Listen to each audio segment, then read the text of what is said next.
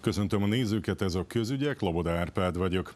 Feloszlatták a vajdasági parlamentet, kiírták a választásokat tartományi szinten, és december 17-ére ezzel a témával kezdünk. Majd Szerbia 2024-es költségvetésével foglalkozunk, pontosabban azzal, mire jut pénz az államkasszából jövőre, és hogy mikor törlik el a lecsapolási illetéket. Ezután érkezik hozzám Kós Dezső adai bőrdíszmíves, aki a közelmúltban junior prima elismerést kapott.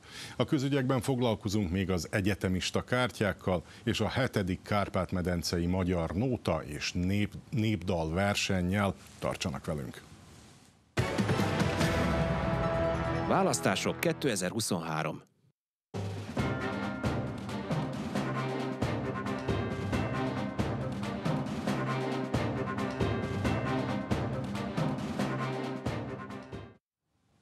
Feloszlatták a tartományi képviselőházat és kiírták a december 17-én esedékes tartományi választásokat.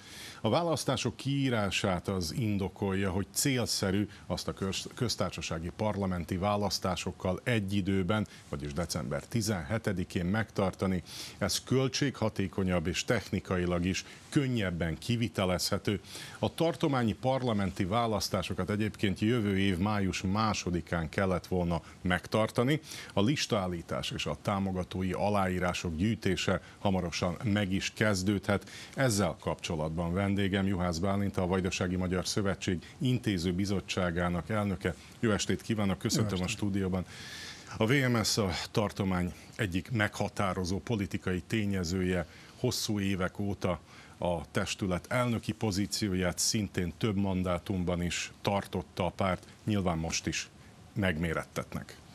Természetesen azt gondolom, hogy eh, ahogyan a Vajdasági Magyar Szövetség elnöki tisztségét, szolgálatát Pásztor István három mandátumban töltötte be 16 éven keresztül, úgy a tartományi parlament és annak a munkája, a tartományi szerepvállalásnak a, a története és egybefort Pásztor István nevével.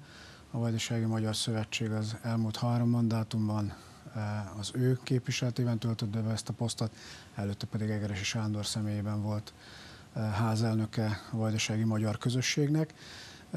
Azt mondjuk, hogy mindenhol, ahol döntések születnek, a Vajdasági Magyar Közösségnek szükséges, hogy legyen politikai képviselete.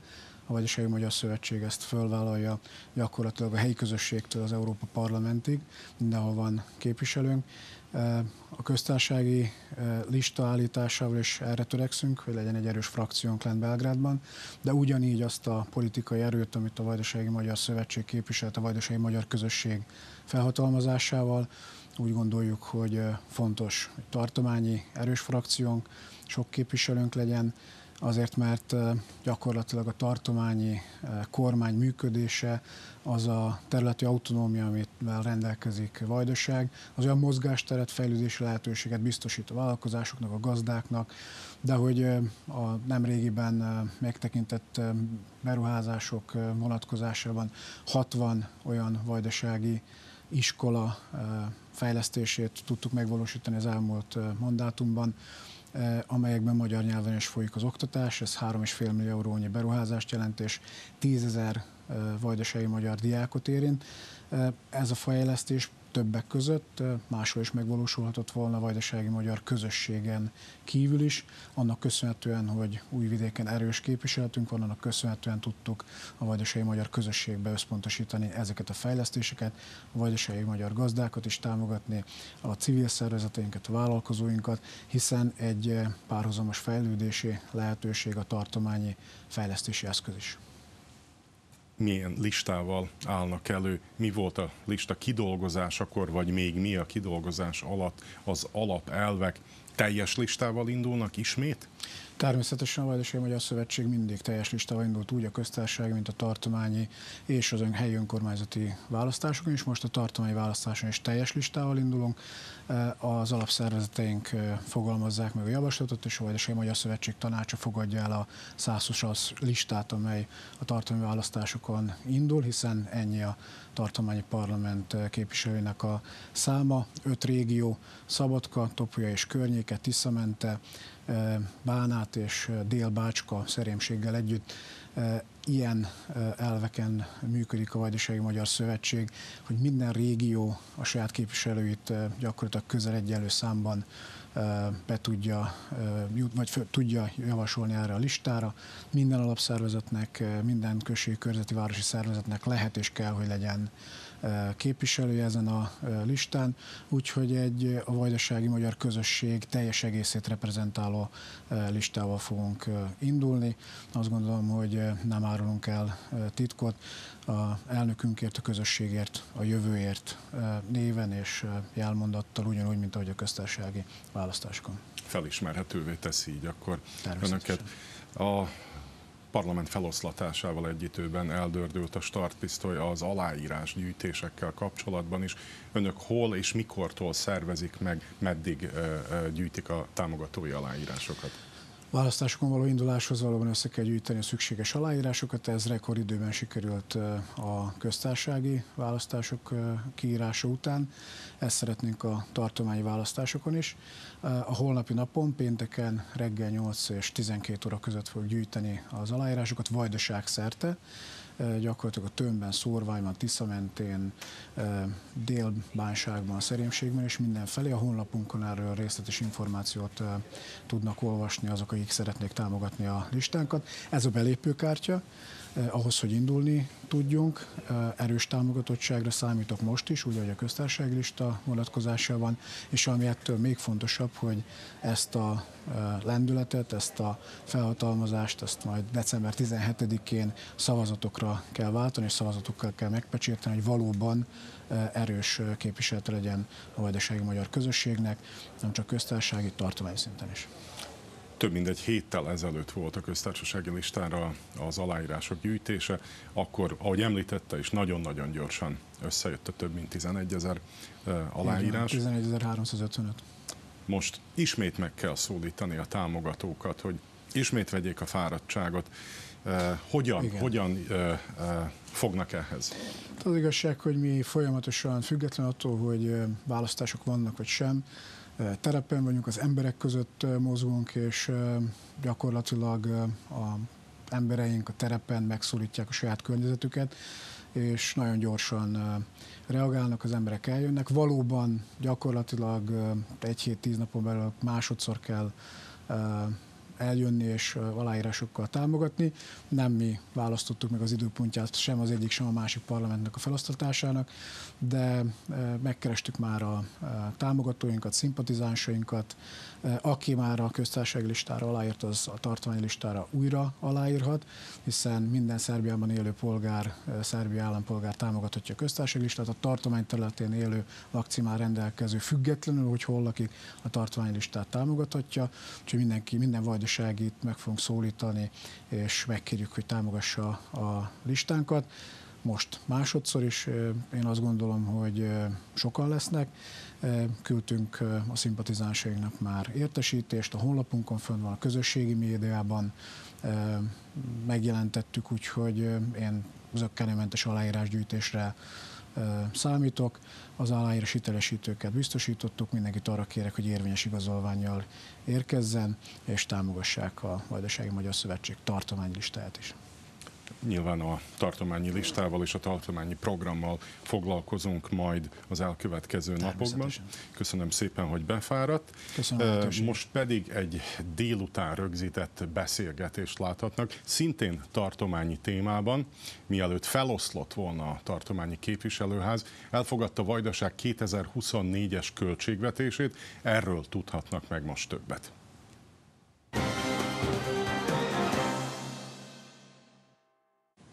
Elkészült és november 6-án el is fogadta a tartományi képviselőház a tartomány 2024-es költségvetését, a részletekről pedig Ökrész Viktor, tartományi pénzügyi segédtitkárt kérdezem. Köszöntöm a közügyekben. Hát először is több pénz lesz Vajdaságban jövőre, mint amennyi idén volt? Jó kívánok, üdvözlöm Önt és a kedves nézőket! Mm, a tartományi képviselőház 2023. november 6-án fogadta el a 2024-es költségvetést, és a költségvetési keret így 108,44 milliárd, illetve kerekítsünk 108,5 milliárd dinár. Ez gyakorlatilag úgy tudjuk jobban átlátni, hogy összehasonlítjuk egy előző időszak értékeivel, és akkor egy trendvonalat láthatunk, ha hasonlítjuk a 21-es, 22-es 23-as és 24-es évet, akkor azt látjuk, hogy a 21-esben 75 milliárd, 22-esben 88, a 23-asban 108,5 és a 24-esben újra 108,5. Tehát ilyen szempontból 2023-asban, a 24-esben nem növekedett keretében, de struktúrájában jelentősen változott. Mire lesz pénz jövőre? Mik azok a területek, amit kiemelne, mint fontos, mint amit a polgárok megéreznek? Az előző évben, 2023-ban nagyon fontos nagyberuházási projektumok fogalmazódtak meg. Sok projektum ezek közül 2024-ben is folytatódik. Azt fontos megemlíteni, hogy a nagy beruházásra szánt ugye, kiadások az idejében, illetve jövőben 2024-ben jelentősen növekedni fognak, 16%-os növekedést érnek el, és a költségvetésnek a 39%-át teszik ki. Tehát ilyen formában nagy beruházásokra 16%-kal több pénz jut, mint 2023-ban. Milyen Amennyiben, projektekről beszélünk? Például egészségügy szempontjából a, a kamericai kórházban nagy befektetések történnek, egészségügyi infrastruktúra, közlekedési infrastruktúrát, illetően a garázsrészek, nagyon fontos befektetés. 2024-ben fog megkezdődni a, az Entei Bolyai Tehetséggondozó Gimnáziumba. 85 millió dinárt fektetnek bele, és ez gyakorlatilag 500 négyzetméter hasznos területű tantermeket és tornatermeket fog ugye megbiztosítani. 2023-ban elkezdődtek nagyon fontos projektumok a, a nagyberuházási igazgatóság pályázatán, magyar érdekeltségű települések 1,6 milliárd dinárnyi pályázatot nyertek el, és ez azt jelenti, hogy jut pénz a, az Aranka folyói híd kiépítésére, jut pénz török-kanizsai kórház kiépítésére, a Szabadkai Nemzeti Színházra 800 millió dinár keret befektetés jut, és ebben a ebben a befektetésben most vannak folyamatban a szerződés aláírások. A tartomány kére pályázatokat az önkormányzatok számára, amire később majd tudnak a polgárok is pályázni. Ezek közül megemlíteném a tartományi pénzügyi titkárságnak a a pályázati kiírását, amely a 2023-as évben 200 millió dináros keretet élvezett, és ez egy nagyon fontos pályázati kiírás olyan szempontból, hogy lehetővé teszi az IPA projektumok megvalósulását, ugyanis ezen a pályázaton önkormányzatok, civil szervezetek, egyéb intézmények, jogi személyek tudnak pályázni arra az önrészre, amely szükséges ahhoz, hogy ugye megvalósuljon egy IPA projektum a tartományi pénzügyi titkárság 2023-ban megszüntette a felső értékhatárt, így nem volt ez meg, tehát gyakorlatilag a teljes önrészt is le tudta fedni egy ilyen pályázat az infrastruktúra fejlesztésben említette az útépítéseket, ilyen nagyobb volumenű projekteket terveznek-e? Természetesen igény szerint nagyon fontosak a, a közlekedési infrastruktúrális befektetések, ugyanis ez egy meghatározó kritérium a külső befektetők számára is, és vajdaság szerte ott, ahol, ahol erre szükség mutatkozik, ott, ahol legnagyobb az igény, értelemszerűen ezek a befektetések soha nem maradnak el. Ez megvalósul Törökkanizsán is, Szabadkán is, gyakorlatilag minden fontos a vajdasági településbe és az azt körülvevő úthálózatra is. Egyébként, ha egy összesíteni kellene, milyen év vár a vajdaságiakra, valamelyest könnyebb, ha egyáltalán lehet mondani, hogy könnyebb, vagy nehezebb év vár ránk pénzügyi szempontból? Ez egy nehéz kérdés, és erre nehéz bizonyossággal válaszolni, ugyanis a gazdaság ciklikus. Túlvelegszik, lehűl, túlvelegszik, lehűl, tehát egy állandó leföl állapotban van. Én úgy gondolom, optimista vagyok abból a szempontból, hogy a 2024-es költségvetésben az adójövedelmek növekedtek. Az adójövedelmek akkor tudnak növekedni, amikor az egy reális alapon fekszik a gazdaság, és, és a gazdaság intenzitásának van egy megfelelő dinamikája, amely megbiztosítja azt, hogy megbiztosítja azt, hogy legyen elég áruforgalom, kereskedelem, szolgálatnyújtás, foglalkoztatottság növekedés. Tehát én úgy gondolom, hogy ez a kettő összefüggésben van, és az adójövedelmek azért tudnak növekedni, mert a Szerbia makrogazdasági indikátorai jók. Egyébként, hogyha jók az adóbevételek, akkor nyilván a támogatási források is tudnak növekedni. Mi lesz a helyzet 24-ben? Mennyire tudják a különböző titkárságok majd a hozzájuk tartozó területeket támogatni? Mm, nagyon fontos célnak tűztük ki azt, hogy ami 2023-ban elérhető volt a pályázóknak, jogi személyeknek, természetes személyeknek, gazdáknak, titkárságtól függően, az 2024-ben is elérhető legyen. Tehát gyakorlatilag keret sehol se csökkent, vannak olyan titkárságok, a, mezőgazdasági víz és erdőgazdálkodási titkárság a legnagyobb kerettel rendelkezik, és itt valamelyes talán növekszenek az értékek, egyéb titkárságoknál körülbelül, tehát ilyen 5-10 százalékos növekedés van, és értelemszerűen ahol eddig, ami eddig elérhető volt, az 2024-ben is elérhető marad. Gyakran mondják, hogy a vajdasági magyarság jelentős része a mezőgazdaságból él, tehát itt a mezőgazdasági titkárságnak a pályázatai jelentenek majd egy olyan pontot, ami érdekelheti a mi nézőinket. Lesznek új pályázati vonalak, vagy a régieket tartják meg, esetleg bővítik? A, a tartományi mezőgazdasági titkárságnak valamennyivel bővült a költségvetési kerete, és ezzel összhangban nyilván, hogy amit említettem az előbb is, megmaradnak az eddig elérhetők. Úgy gondolom, hogy, hogy ezt azért lehet, hogy az illetékes személyeket jobb lenne pontosan a, a specifikumokról kérdezni, de értelemszerűen ami eddig elérhető volt, az elérhető lesz továbbra is. És úgy gondolom, hogy ez, ez azért jó, mert a visszajelzések a, a pályázatok alapján olyanok voltak, hogy jó, hasznos, meghozta hatását, meghozta gyümölcsét, tehát nagyon fontos ezt, ezt megtartani nyilván ez a legfontosabb, hogy az elért eredmények ne vesszenek el.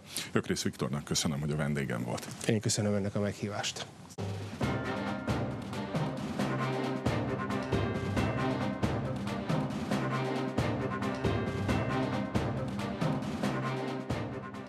Szerbia 2024-es költségvetéséről és az ehhez kapcsolódó témákról beszélgetünk az elkövetkező percekben Újhelyi Ákossal, aki az előző mandátumokban és parlamenti képviselő volt, és most is a Vajdasági Magyar Szövetség jelöltje. Köszöntelek a stúdióban. Szerbusz, jó estét kívánok! 2024-es költségvetést úgy fogadta el a parlament, hogy a feloszlatás előtt még, tehát a választásokra készülve már, mégis ez a legfontosabb aktus, amit el kell, hogy fogadjon a parlament ahhoz, hogy működjön az ország, választások ide vagy oda. Mik azok a legfontosabb tételek, amik, amik említésre méltóak, és amik minket, polgárokat is értenek, gondolok itt a vajdasági magyarokra is. A Vajdasági Magyar Szövetség frakciója több okból szavazta meg ezt a költségvetés tervezetet. Egyik oka az volt, hogy ez egy nem választási költségvetés, ami azt jelenti, hogy nem engedi el a költségeket, tehát nem kezd kiadásokba az állam. Ez egy nagyon racionális és tartható költségvetés. A számok is ezt mutatják. Mielőtt rátérünk a projektekre, egy pár szóba beszélnék a mutatókról. Az összbevétel az körülbelül 2000 milliárd dinárt fog kitenni, ez 7%-kal nagyobb, mint a, az idei évi. A költségvetési hiány az jóval 3% alatt van tervezve, ez 2,2%. Ha azt vesszük alapul, hogy a környező Európa Uniós tagországok milyen állapotban vannak, akkor azt tudjuk mondani, hogy nekünk valóban egy jó költségvetésünk van. Ami az államháztartási hiányt illeti, az körülbelül 50% 51 százalék körül alakul. Ez is egy jó adat, ugyanis a Maastrichti kritérium alapján ennek 60 százalék alatt kell lenni ahhoz, hogy egy ország bevezethesse a az eurót például, a, és szintén el kell mondanom, hogy a környező országoknak jóval nagyobb eladás, eladósodási rátája van, mint Szerbiának, a gazdasági növekedés pedig 3,5 százalékot fog kitenni. Honnan vannak ezek a bevételek? Tehát hogy áll össze a bevétel? Gondolom itt a külföldi források jelentős mértékben megdobják a költségvetést. Külföldi források is egyébként, az adóbevétel is, és más jellegű bevételek is, ugyanis állandóan nő a gazdaság, az lehetővé teszi, hogy nagyobb bevételek folyonnak be a magába a költségvetésbe. Ami a projektumokat illeti, illetve a, a különböző e, béreket és e, nyugdíjaknak a növekedését, nagyon fontos volt számunkra, hogy ez a 2024-es tervezet, ez magába foglalja a nyugdíjak növekedését 14,6%-kal. Hogyha az elmúlt két évet e, vesszük, akkor ez több mint 55%-ot tesz egyébként ki. A közalkalmazottaknak a bére is egyébként nőni fog 10%-kal január 1 Nagyon fontos, mert ide tartoznak a tanárok, az orvosok, az ápolók, azok, akik a közszférában dolgoznak, és az elmúlt időszakban azért az infláció ugye a reál értékét a jövedelmeknek, a fizetéseknek azért jócskán csökkentette. Ami a projektumokat illeti, számunkra lényeges projektumok benne vannak ebbe a költségvetésbe, ilyen például ugye a, a Budapest-Belgrád gyors vasútnak az Újvidéktől Kelebiáig tartó szakasza. Ez egy nagyon fontos része volt, azért is szavaztuk meg ezt a költségvetés tervezetet, de emellett még egyébként az Y elágazásnak az autó sítása is benne van. Tervdokumentáció fog készülni, és utána pedig a munkálatok is minden valószínűséggel a következő években el fognak kezdődni. Benne van még a Népszínháznak a, az építése, Palicson egy sétaösvénynek a befejezése és számos más olyan projektum, ami a, azt szolgálja, hogy az itt élőknek, a vajdasági magyaroknak is élhetőbb életet biztosítsunk.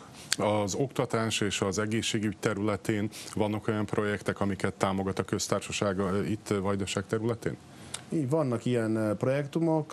Itt elsősorban ugye a rendkívüli kiadásokat lát, látott el ez a költségvetés bizonyos betegségekre, és amennyiben ezek bekövetkeznek, akkor ez a költségvetés majd tudja pótolni, de számos más egészségügyi intézmény, kórház, bíróság és hasonló közintézményeknek a felújítása, karbatartása is benne szerepel ebben a költségvetési tervezetben.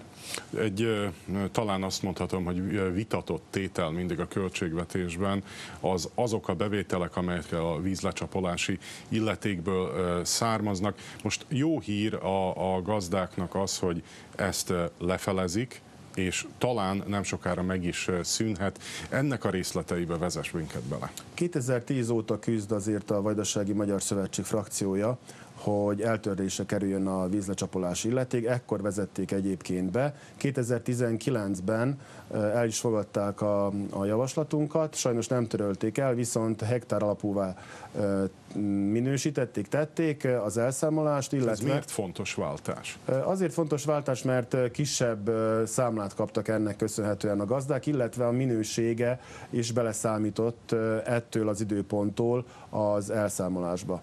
Az idei évben, mivel nem tudtuk korábban meghozni ezt a törvényt, egyébként a Vajdasági Magyar Szövetség frakciónak köszönhetően került egyáltalán napirendre, mert még a haladók, mikor az első tervezetet készítették a napirendnek, akkor még ez nem szerepelt rajta, viszont mi ezt kértük, hogy kerüljön mindenképpen rá, mivel hogyha nem került volna rá, akkor kérdés, hogy ez mikor valósult volna meg, és ennélkül pedig nem került volna eltörlésre a lecsapolási illeték, tehát az idén felét kell fizetniük majd a gazdáknak, jövőre pedig ez meg fog szűnni. Ez egy elég nagy bevétele egyébként Vajdaságnak, illetve Szabadkának is, de hát majd más forrásokból megpróbálja a köztársaság ezt pótolni. Azt gondolom, hogy nincs az rendben, hogy olyan szolgáltatásért fizessenek a gazdák, amelyeket az állam nem végez el. Ugye az elmúlt időszakban nagyon nagy szárasságok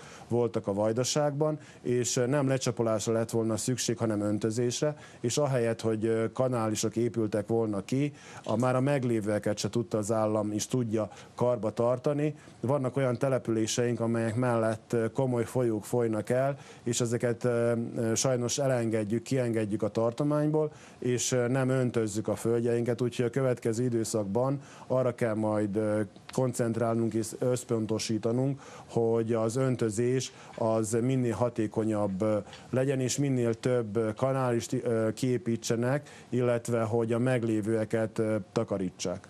Ez a 22 ezer kilométeres tartományi hálózatot kell rendbe tenni. Arról mesélj röviden, hogy hosszú évekig tartott ez a, ez a harc nektek. Hogyan néz ki a koalíciós partnerrel, amikor ezt meg kell győzni őket, hogy lássák vajdasági szemmel a vajdasági problémát, ne pedig belgrádi fővárosi szemmel a provinciális dolgokat? Igen, ez elsősorban a pénzügyminisztériumnak volt ugye a kezdeményezése, és oda folytak ezek az összegek be.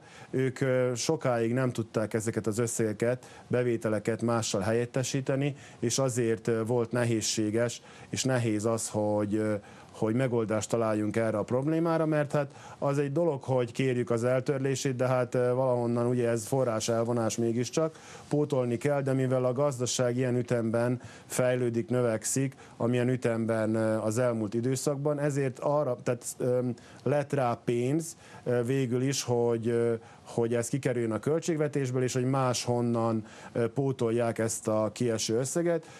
Ez egy folyamatos harc, Azért számunkra nagyon fontos egyébként ez a folytonosság, amelyet képviselünk a parlamentben. Most is ezt képviseljük, mert hogyha nincs egy folytonosság, akkor ezek az eredmények se jönnek, ugyanis látható, hogy Szerbiában nem négy évig tart egy mandátum, hanem egy-két évig, és amennyiben nem állunk ki ezek a céljaink mellett, akkor ezek nem is valósulnak meg. Egyébként Ugye a Vajdasági Magyar Szövetség és a Haladó Párt között van egy koalíciós szerződés, és a mi feladatunk, a képviselők feladata, hogy ebből a szerződésből minél több cél valósuljon meg addig, amíg tart a mandátum.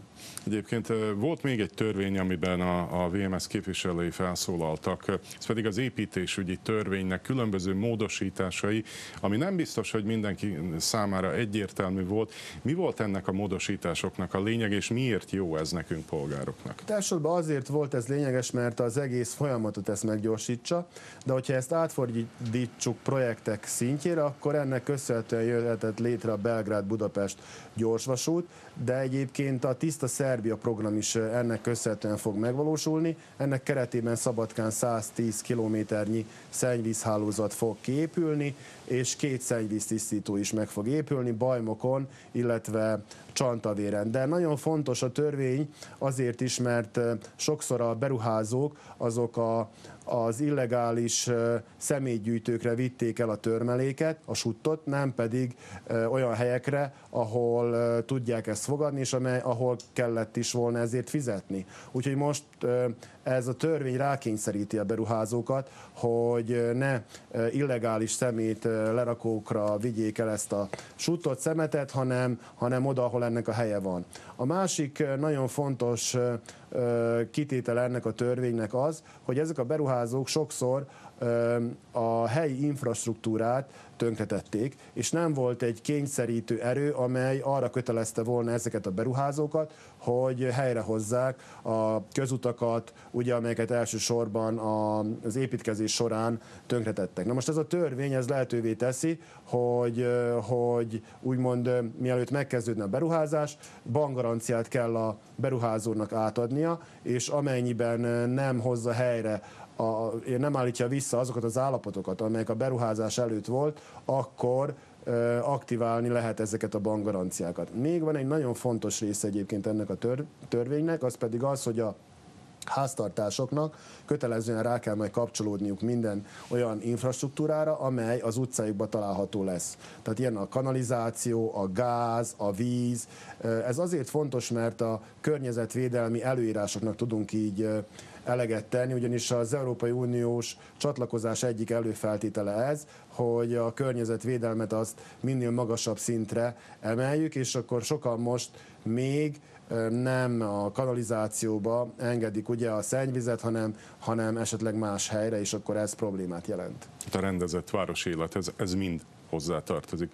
Köszönöm szépen, hogy a vendégem voltál. Köszönöm szépen a lehetőséget. Választások 2023.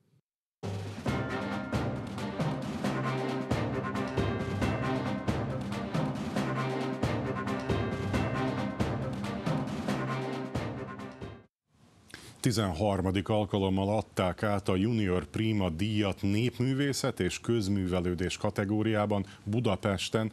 A díjazottak között volt Kós Dezső adai népi bőrműves is, akit köszöntök most a stúdióban. Engedd meg, hogy először gratuláljak a díjnak, és hát minden bizonynal egy megtiszteltetés egy fiatal művésznek, amikor, amikor egy ilyen elismerést kap hatalmas megtiszteltetés tényleg, tehát ez az annyira mondhatom így is, hogy keveseknek adatik meg, hogy tényleg idáig eljussanak, mivel tényleg nagyon nagy a rosta és kevés művésznek van erre lehetősége idáig eljutni, viszont ezt úgy gondolom, hogy ez nem egy, egy ilyen végpont, hogy most úgy eddig elértem, és akkor ne tovább, hanem inkább valaminek a kezdete. Mikor ismerkedtél meg a bőrrel, a kézműveskedéssel? 29 éves vagy, azért gyönyörű termékeket hoztál hozzánk el, nyilván nem ezek a prototípusok. Hát a legelején kezdem, akkor már kicsi koromban édesanyám még beirattak néptáncra, tehát már akkor elindult a népművészet szeretete. Ezután Zentán Bajé Tehetséggondozó Gimnázium és Kollégium iskolájába szobrászként végeztem, tehát ott az életérbeli formákat úgy gondolom már úgy kezdtem hogy kapizsgálni, hogy mi fán terem. Ezután jött egy kis kanyar ugye az életembe, tehát Kaposvára mentem tovább állatényztő mérnökként, de azért csak-csak visszacsatolódtam a népművészet felé, tehát Nádudvarra mentem, ott Hajdúszoboszló mellett található Nádudvari Népi Kézműves Szakiskola, ahol népi bőrművesként fejeztem 2018-ban kezdtem, és 2020-ban fejeztem. És ezen kívül képzed magad folyamatosan tovább a, a, a bőrdísz, bőrműveknek az előállításában, mintakeresésben, hogy egyáltalán mit lehet elkészíteni? Hát úgy gondolom, aki így mesterként akarja ezt úgy vinni magán a szakmát, az, az örökké tanul, tehát nincs olyan, hogy most befejezte a tanulmányait, tehát ezt mindig keresem az új és újabb anyagokat, persze a legjobb anyagokat, tehát most jelenleg Budapesten szerzem be a bőröket, tehát ott találom meg a leg számomra legminőségesebb növényi cserzett naturbőröket, amiket utána saját kezüleg festek is. Természetesen vannak bőrtípusok, amik már készre vannak festve, viszont azért kell az, amikor hát hogy igazi legyen, még mívesebb legyen, még egyedibb legyen az alkotás. Ugyanígy vagyok a fémkellékeknél is, hogy megvan, hogy melyik a legjobb, és még egyedibbé tudom varázsolni, hogy a saját tervezésű csatokat akár részből, akár csontból, akár szarúból is ki tudok faragni. Beszéljünk akkor valamelyik eh, itt a stúdióban eh, elhozott tárgyadról. Én ahogy beléptél, ezt az övet eh, szúrtam ki. Mesélj nekünk erről, ez egy gyönyörű példány. Mi ennek a története? Milyen mintát látunk és honnan származik? Ez volt a vizsgamunkám, amikor levizsgáztam ugye Nádudvaron az iskolába, tehát ez egy gyimesi tűző, ez egy férfi viselet, tehát a legkeletibb magyar lakta faluknál Erdélyben a, a viseletjük, tehát ez egy férfi viselet, amit derékon hordanak, és ez valójában ilyen geometrikus formákkal díszítik, tehát mind színekkel, mind formákkal, tehát valójában ezek a kis vajszínű piros, illetve zöld szálak, ezek kecske szirony, tehát ez egy mezezett kecske bőr, és az van így föl alá bújtatva egymás után ugyanabba a lukba, egymás után követve, tehát ez egy igen komoly szintű mm, munka, mint a csont, mint a rész saját kezüleg van megfaragva, ez mondhatom egy jó három hónapos tanulmányi, mint tervezési, mint kivitelezési út. És ezek a hátizsákok is, amiket elhoztál, vagy táskák, hogy nem mondjam már, hogy hátizsák, ezeknek is érdekes története van, mivel e, milyen anyagból van, ez egy durva zsákszerű anyag. Igen, ez a dédapámnak a malmozsáké, tehát egy kutatás során úgy a padláson megtaláltam a kakasülőre, föl voltak így kötve madzagolva, tehát ez a dédapámnak a malmozsáka, ami ugye régen a funkciójából ugye a gabonát vitték a malomba, mára meg hát lényegében a hátizsáknak is az a funkciója, hogy jó meg tudják tömni a, a, a tarisznyát, és akkor bírja vinni. Tehát valójában ebből ö, kigondolva újra alkottam, és egy új formáját öltötte a régi ö, jól megmunkált anyag. És egyébként nehéz ebből megélni, vagy azért szükséged van polgári szakmára is? Mindenképp vannak egyéb munkásságom is az életben, tehát én egy bőrdíszműves cégnél dolgozom itt Szabadkán, utána, délután a saját műveimmel foglalatoskodok, és majd általában esténként néptáncot oktatok a párommal. Honnan jön az ihlet, hogy most mit szeretnél, vagy hogyan szeretnél valamit elkészíteni? Hogyan néz ki az alkotói folyamat? Sok gondolkozás, tervezés és álmodozás után minden esetre vannak persze már megrendelések, tehát megrendelésekre dolgozok valójában.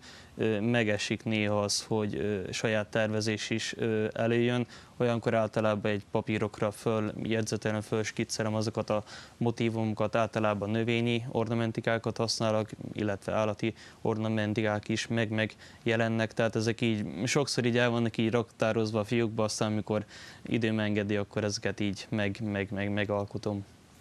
Merre tovább az életben a bőrrel, hát és a néptánccal is? Mik a terveid? Hát a bőr az, az mindenképp marad, mert az egy, én úgy gondolom, egy nagyon hálás anyag, és tényleg, hogyha jól kezeli az ember, tehát ápolja valójában a bőrt, akkor igazából tényleg egész életen át kíséri. Megmérettetésre még el szeretnél menni? Szeretnél még bizonyítani? Mindenképp nem szeretnék megállni, tehát úgy gondolom ez tényleg ezután már csak, csak följebb és följebb. Ami még nagy vágyam, régóta délegetett vágyam, hogy a népművészeti ifjúmestere címére is pályázok, ezt tavaszra lesz lehetőségem. Itt valójában egy öt kiváló alkotást kell, hogy felmutassak a szakmai zsűrinek, ezt alátámasztani egy szakdolgozattal, mind történelmi, mind kidolgozási témával, és ezt egy mm, igen ismert bizottság ezt, ezt zsűrizi, és egy hangú döntés kell, hogy hozzanak, hogy megérdemlem-e ezt a címet, vagy sem. Hát szorítunk neked. Köszönöm szépen, Köszönöm szépen. Voltál. Nem csak köztársasági, hanem tartományi választás is lesz december 17-én. Erről döntöttek ma Újvidéken a Vajdasági Képviselőház utolsó idejülésén, melynek feloszlatását elfogadták a képviselők. Az ülésen a Vajdasági Magyar Szövetség és a Szerb Haladó Párt támogatta a határozatot. A Vajdasági Magyar Szövetség pénteken gyűjti a tartományi jelölt lista állításához szükséges támogató aláírásokat. Holnap több mint 50 helyszínen várják azokat, akik aláírásukkal támogatnák a párt indulását a tartományi választásokon. A helyszínek listáját megtalálják internetes oldalunkon, a pannonertv.com-on, vagy a VMS honlapján, a vms.org.rs címen. Hat vajdasági oktatási tevékenységet végző intézménnyel, illetve egyesülettel kötött ma támogatási szerződést a Magyar Nemzeti Tanács. Ezzel az oktatási hálózat fejlesztését, működését és a szórvány stratégiai fejlesztéseket segítik. Odaítélték a vajdasági művészeti díjakat. A Híd irodalmi díjat a zsűri Lovas Ildikónak a Szép Amáliák című regényéért, és Mauris Ferencnek az Arcversek című verses kötetéért adta. A Fórum képzőművészeti díj kitüntetetje Szagmajszter Péty Laura festőművész. A Vajdasági Magyar Művészeti Díjban Sóti Szobonya Emőke zeneművész zongoratanár részesül.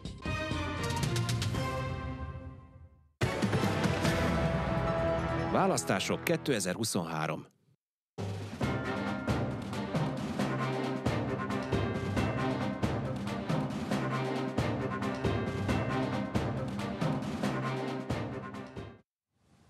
Ahogy már az előző választásnál is tettük, műsorunkban bemutatjuk az előrehozott parlamenti választások jelölt listáit. Elsőként a szerb haladó párt listáját ismerhetik meg, hiszen ez szerepel majd a szavazó, szavazólap első helyén, december 17-én.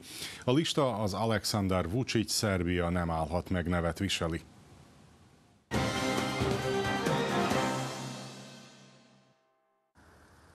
Több mint 90 ezer aláírás gyűjtött össze a szerb párt egy nap alatt, és a választások kiírását követő napon már át is tudta adni jelölt listáját a Köztársasági Választási Bizottságnak. A lista az Alexander Vucic, Szerbia nem állhat meg nevet viseli, a köztársasági elnök azonban nyilvánvaló okokból nem szerepel a jelöltek között. A lista neve miatt ellenzéki pártok jogorvoslatért fordultak különböző szervekhez, mondván, ha az államfő neve egy párt listájának nevében szerepel, akkor a köztársasági elnök mégsem mindenki elnöke, ám rosszallásuk visszhang és válasz nélkül maradt. Alexander Vucic neve szerepelt a haladók korábbi listáin is, akkor is, amikor már évek óta ő volt az ország elnöke, és ez sosem jelentett akadályt. A lista vezető Milos Vucevic, az SHP elnöke, védelmi miniszter, aki a lista átadáskor közölte, Szerbia az utóbbi egy évben számos kihívással nézett szembe. Soha korábban nem tapasztalt árvizekkel, a koronavírus járványjal, az ukrajnai háborúval, az izraeli háborúval, gazdasági nehézségekkel, és mégis fejlődni tudott. ali nas čeka dugo polovreme. Na građanima Srbije da odluče da li žele da se vratimo u period do 2012. i možda se to nekom čini da je nemoguće. Nažalost, to je vrlo lako moguće i to mnogo brže ili u mnogo kraćem vremenskom intervalu nego što vam je potrebno da napredujete. Možete padati i propadati. Mi ne želimo da Srbija stoji i pored svih izazova koji nas okružuju, smatramo da Srbija mora da ide napred, da ne sme da stane i za takvu Srbiju živimo i za takvu Srbiju radimo i politički se borimo. A haladók kampányának fontos kérdése Szerbia nemzetközi megbecsültsége, illetve az ország nemzeti érdekeinek a megőrzése, ide értve a koszovói helyzet rendezését is. A lista vezető leszögezte, hogy Szerbia a jövőben sem fogja elismerni Koszovó függetlenségét. Srbija će čuvati svoj suverenitet i čuvat će svoj integritet. I vodeći računa o svom državnom nacionalnom interesu, vodeći slobodarsku i nezavisnu politiku, ali čuvajući mir. Jer je to naš cilj. Mi želimo da živimo i radimo u miru. Srbija se razvija u miru. Srbija pobeđuje u miru. Mi želimo da nam se deca rađaju, ne da nam iko strada. Ali naravno ostajemo na tvrdim pozicijama odbrane nacionalnih i državnih interesa. Oko, oko, oko toga nema nikakvih, nikakvih kompromisa. A szerb haladó párt az elmúlt évek sikereivel, a magasabb fizetések és nyugdíjak, a megépített utak, hidak, kórházak felsorolásával és bemutatásával kampányol. A lista névadója Alexander Vucic ugyan már nem elnöke a pártnak, de a tagja maradt és részt vesz a kampányban is. Pirotban például a fizetésekről beszélt. Ja hoću da za samo četiri godine prosječna plata u Pirotu bude veća od 1000 evra. U Srbiji 1400 evra. Da prosječna penzija u Pirotu bude preko 600 evra. U Srbiji 650 evra. Da se smanji ta razlika. I mi znamo da to možemo da uradimo. Már a kampány elején, sőt a választások kiírása előtt elég nagy vihart kavartak azok a támadások, amelyek Alexander Vucic családját érték. Néhány internetes oldal és napilap olyan híreket jelentetett meg, amelyek megkérdőjelezik a politikus apjának személyét, később pedig a közösségi médiában támadták Alexander Vucic hat éves fiát. Az SHP ezért a kampánya során kiemelt figyelmet fordít arra, hogy a családok védelméről beszéljen. Sada je 17. decembar postao tome da ova Srbija jeste pristojna zemlja, da ne da na porodicu, da ne da na roditelje i da ne da na decu. E o tome je sada 17. decembar. O tome je sada ova izborna kampanja. I tog 17. decembra izlazimo da kažemo dosta je više, dosta više tih mrzitelja i dosta nasilnika i dosta oni koji se pod plaštom borbe protiv nasilja obračunavaju najstrašnije sa decom od šest godina. To više neće moći da prođe. A 250-es listán közgazdászok, jogászok, orvosok, de művészek is szerepelnek, például Jovan Kolundzsia, hegedűművész vagy Jubica Vranes operaénekes. Emellett a korábban megszokottakhoz hasonlóan ezúttal is helyet kaptak a listán kisebb pártok, például a Szerbiai Egyesült Nyugdíjasok pártja, valamint az Egészséges Szerbia. A Rasim Jaic vezette szerbiai szociáldemokrata párt szinte már magától értetődően került fel a listára. A pártelnök közölte, az utóbbi több mint 30 évben átlagosan 15 havonta tartottak választásokat, de most ennek véget kell vetni. Vreme je da Srbija dobije jednu stabilnu, koherentnu jaku vladu koja će imati puni četvorogodišnji mandat. S obzirom da ta vlada mora da se bavi krupnim, unutrašnjim, političkim i društvenim pitanjima, od ekonomije preko socijalne politike, zaštite najugroženih kategorija stanovništva, do uređenja, ukupnog uređenja države sa jačanjem demokratskih institucija. I takođe, mi živimo u vremenu u kojem se na globalnom nivou više govori o mogućnosti trećeg svjetskog rata nego o četvrtoj industrijskoj revoluciji. To je možda najveći paradoks današnjice i zato je važno da imamo stabilnu i jaku vladu koju će predvoditi lista Aleksandar Vučić Srbija ne sme da stane. A szerb haladó párt a korábbi választások alkalmával sem közölte előre, hogy győzelm esetén ki lenne Szerbia miniszterelnöke. Alexander Vucic korábbi megjegyzései arra utalnak, hogy a jövőben nem Anna Brnabic vezetni a kormányt, egyelőre azonban konkrétumok nincsenek. Mivel a 2022-es választás alkalmával is felmerült Milos Vucevic neve lehetséges miniszterelnökként, most pedig már ő a szerb haladó párt elnöke és listavezetője, egyáltalán nem kizárt, hogy őt szeretné a párt a kormányfői székben látni. Aztán persze ott van még Ivica Dacic, a szerbiai szocialista párt elnöke is, aki ismét olyan jelölt listát állított, amelyben saját neve mellett a miniszterelnök megnevezés szerepel. A kormánykoalíciós tárgyalások azonban, ahogy mondani szokták, még a jövő zenéje, így további találgatásokba nem bocsátkoznánk. Választások 2023.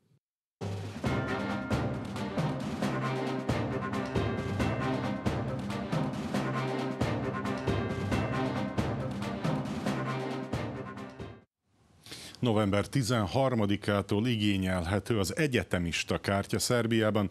A tervek szerint december 1-től már kézbe is kaphatják a hallgatók ezeket. A kártya ingyen igényelhető, fenntartási költségen nem lesz, és számos engedményre jogosítja fel majd tulajdonosát.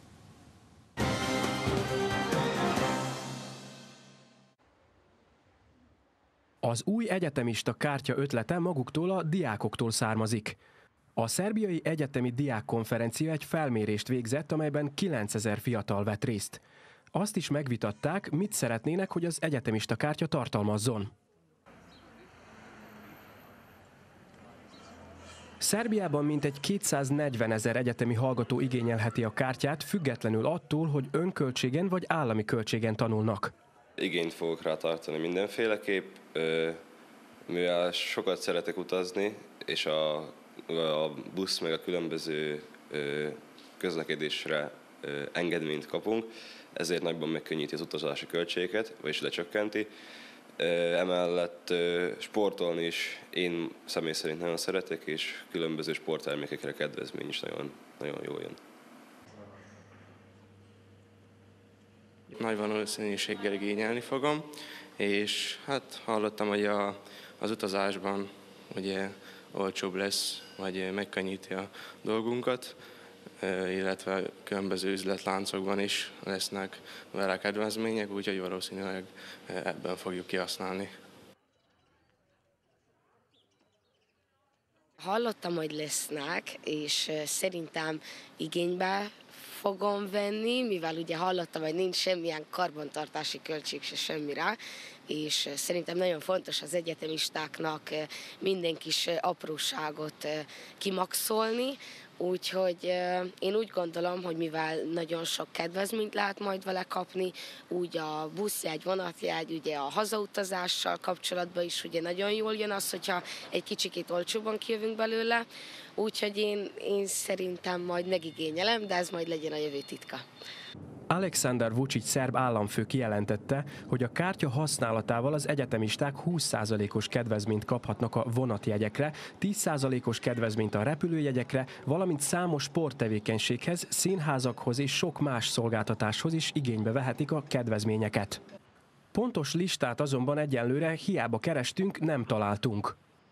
A kártya igénylésével az egyetemisták egy folyószámlát is kapnak a postatakarékban, melynek kezelési költségei ingyenesek. A kártya összekapcsolható lesz az egyetemista adataival, így az adott személy könnyedén kezelheti utalásait. Pošto ima mnogo onih koji govore kako studentske kartice postoje, postoje one za domove studentske i njih je oko 25.000. Mi imamo 240.000 studenta i bit će 240 platnih kartica za studente. Ovo je nešto, čini mi se, jedinstveno, izuzetno što smo u saradnji sa studentima uradili, sa onima koji brinu o svojoj generaciji, sa onima koji žele da ostanu u našoj zemlji i da brinu o budućnosti Srbije. Bár egységes, az állam által kiadott minden egyetemista által felhasználható kedvezménykártya valóban nem létezett eddig Szerbiában. Az itteni hallgatóknak is lehetőségük volt és van is nemzetközi használatban lévő diák vagy egyetemista igazolványt igényelni. Az ISIC, vagyis az International Student Identity Card, azaz nemzetközi diákigazolvány például 127 országban több mint 150 ezer elfogadó helyen biztosít kedvezményeket szálláshelyekre, különféle termékekre, turisztikai tartalmakra, utazásra, múzeumlátogatásra, éttermekre, légitársaságoknál, szórakozó helyekre. Újabb hatalmas lehetőségek nyílnak meg a szerbiai diákok előtt az uniós csatlakozással. A tagországok 18 éves állampolgárai például egy hónapon át ingyen utazhatnak bárhol az EU területén, és díjmentes tanulmányi utak, tanfolyamok, diákcsereprogramok, kulturális tartalmak sokasága közül válogathatnak. Amíg azonban várunk mindenre, a szerbiai egyetemista kártya sem jön rosszul, hiszen a hallgatóknak minden segítség elkél ahhoz, hogy a diák éveiket ne csak kispórolják, hanem tartalmasan éljék meg.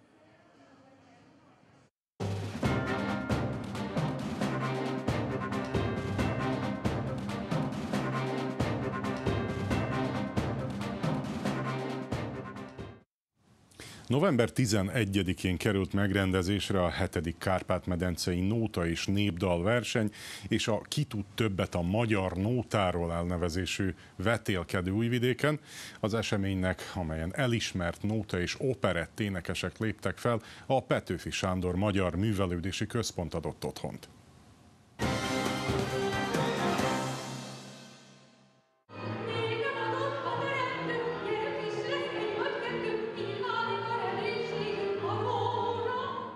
Verseny győztese Dobó Katica volt, aki Egerből érkezett. Elmondta, hogy szinte az egész életében jelen volt a magyar nóta, és büszke arra, hogy a mai napig ápolja ennek hagyományát. A zenevilágában rádión keresztül, még az a picike kis dobozka rádiónk volt otthon, és én képes voltam mondjuk olyan 13-14 éves koromban, amikor az egész család egy szobába aludt, ugye, ez az 50-es évek eleje, akkor magamra húztam a takarót, és ezt a rádiót le lehetett takasztani a falra, és betettem a takaró alá, és a pillangó kisasszonyt öt felvonását végighallgattam, valamikor éjjel fél kettőkor volt vége, az sokszor volt opera közvetítés. Egyenesben az operaházból. És én emlékszem a Szecsődi Irénre, aki állítólag Otto Klemperel szerint a világ egyik legjobb pillangó kisasszonya volt, és ő volt akkor a szólista. Én nekem csak három éves magyar nota tanulásom volt, ahol ugye irányítottan egy szakember előtt tanultam, és utána még évekig próbálkoztam, tehát meg volt a működési engedélyem, de igazándiból nem nagyon, nem nagyon volt lehetőségem énekelni gyakorolni. A tévébe szerepeltem, 2022-ben volt egy felvételem, amit ma is többször ismételnek, ahol egy 10 perces műsort adtam, és képzel a, a adásrendező a végén azt mondta nekem, hogy nagyon rövid volt a műsor, nem tudjuk, hogy hogy fogjuk majd beszerkezni, összeszerkeszteni. És figyeltem, hogy a többieké 6 perc volt, az enyém meg 10 perc volt és tulajdonképpen a végére nyílt ki a hangom, érdekes módon. Tehát már úgy értve, hogy ott csillogott a legjobban, tehát az az előadásmód rátette a koronát, hál' Istennek a végére. De mindig a legelső ének az elején kell, ugye nagyon jól, meg a legutoljára, hogy úgy maradjonak emlékébe a közönségnek, ugye? És itt ez volt, ez volt az életemnek a csúcspontja, mert hát azóta is ismétlik ezt a, ezt a tévéfelvétel, jó ebédet szól a nótába.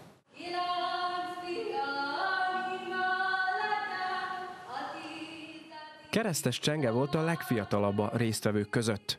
Erdélyi népdalokat hozott a versenyre. Öt éves kora óta foglalkozik énekléssel, és azóta a zene szerelmese. Mostanában inkább ezek a popzenék és a, az ilyen stílusú zenék híresebbek. Um, nagyon sokan nem szeretik ezt a stílust, viszont szerintem lehetne változtatni azon, hogyha egy kicsit mozgalmasabbá tennénk ezt az egészet. A zenei kíséretet a magyarországi Kecskés Sándor zenekara biztosította, a versenyzők produkcióit pedig öt tagból álló zsűri értékelte. Jó artikuláció, kiejtés, zenei érzés, hallás és ritmusérzés, és ez nem kevés, hogyha a zenekar élőben kísér, nem úgy van, hogy hát majd hozzásegít valaki, majd beénekelek, ezt a, magyar, nóta, magyar nótához fűzöm, nem pedig a népdalhoz, és hát itt is egy együttműködés a, a zenészekkel nagyon fontos. Persze a dinamika is, hogy hol lesz erősebb, hol lesz halkabb, mit hoz ki, mi az a fontos a, a szövegbe, illetve a dallamban. A verseny megálmodója a Kárpát-medencei Rendezvény Szervező Egyesület, amelynek egyik fő célja a magyar nóta hagyományának ápolása és megőrzése.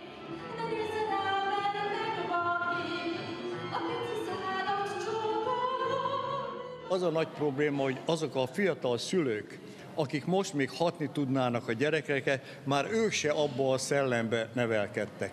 És hát ezen rengeteg munka van, ezt, ezt csinál. Láthatjuk, hogy a, például a néptáncosoknál, ott, ott nagyon nagy a, nagyon nagy a fellendülés, hogy így mondjam, rengeteg fiatal néptáncos gyereket látunk, és ez, ez valahogy nem tudom, valahogy őket jobban érdekli az dolog. A nóta éneklés, a nép, itt ugyan vannak kincseink, egy-két fiatal van, hát például tavaly Marosvásárhelyen volt 40 versenyző, és ott, ott egy nagy érdeklődés volt, és, és, és repesett a szívünk az örömtől, hogy menjen érdeklődnek, és egy nagyon jó hangulatú, nagy hát, nótaverseny volt. Itt most sok minden, nem akarom részletes, sok minden rányolja a bélyegét, hogy itt ilyen kicsi az érdeklődés. Lehet, hogy talán a rossz idő is, meg hát szóval a társadalmi közhangulat egy kicsit ugye kedvét szegi az embereknek. Az újvidéki Petőfi Sándor Magyar Művelődési Központ mindig nagy örömmel ad otthont az ilyen és hasonló jellegű kulturális rendezvényeknek.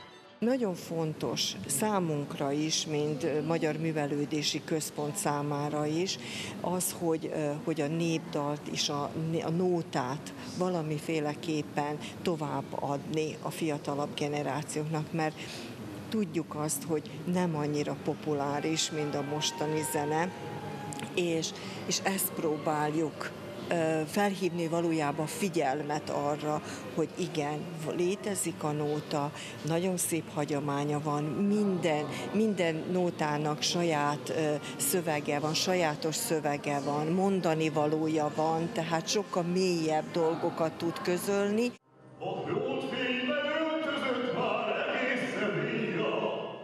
A gála műsor ráadásaként a magyarországi Lévai László többszörösen kitüntetett nótaénekes és az újvidéki Vitkai Kucsera Ágota operaénekes léptek fel.